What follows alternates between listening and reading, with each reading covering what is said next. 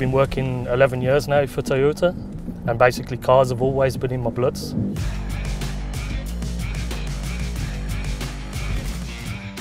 Building the GR Yaris H2 concept has been one of the most exciting projects that I've been working on.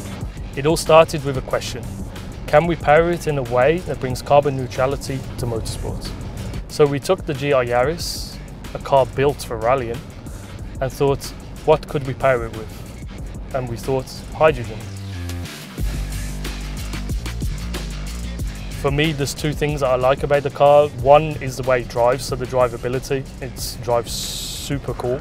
And the second is basically the noise. So you really keep that deep, passionate sound for motorsport.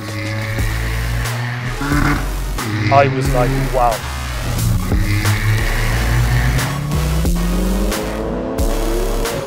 Whole journey basically started from Morizo-san's dream. He wanted to keep the thrill of motorsports alive, even in a decarbonised future.